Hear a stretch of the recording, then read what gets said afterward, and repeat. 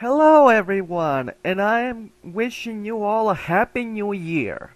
Today we're gonna be talking about what is the future of this channel and what will I be doing with it.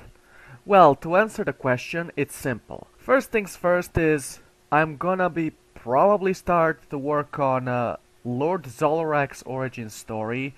I mean, I did sh show the trailer and a first look at episode 1 of it so that's kind of uh, the point, and I'm probably also gonna be working on maybe the space hazard if I'm gonna go with it, because I did show a trailer of it, and I'm not sure if I will be working on it for this year. Maybe, who knows?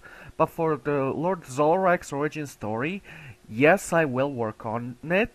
Maybe not now, or maybe possibly after the holidays. So now when it comes to my other animations, people are gonna be asking me, when will I continue to work on my own Elements of Insanity series?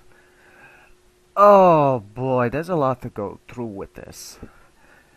So I'm gonna start by saying that I'm nearly, I'm close to finishing Rainbine's Big Techno Night, which is, it's not kind of related to my own EOI series, but it is like an EOI video.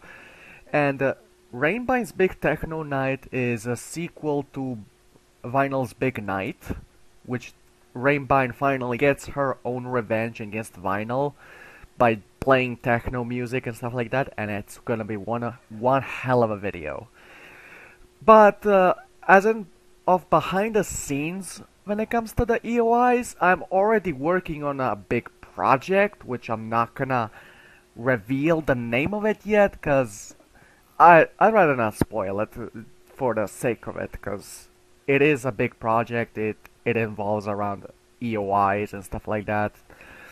But uh, the season 2 of my own EOI series, which is titled The EOI Ponies, it, the season 2 will be now moved uh, to the next year. Uh, I'm sorry if I had to delay it, but there's a reason for that. Which I will probably explain it probably on my Instagram, who knows, but... Yeah, I have a lot planned for this year. And yeah, I'm actually really excited and I hope that this year ends up becoming really good.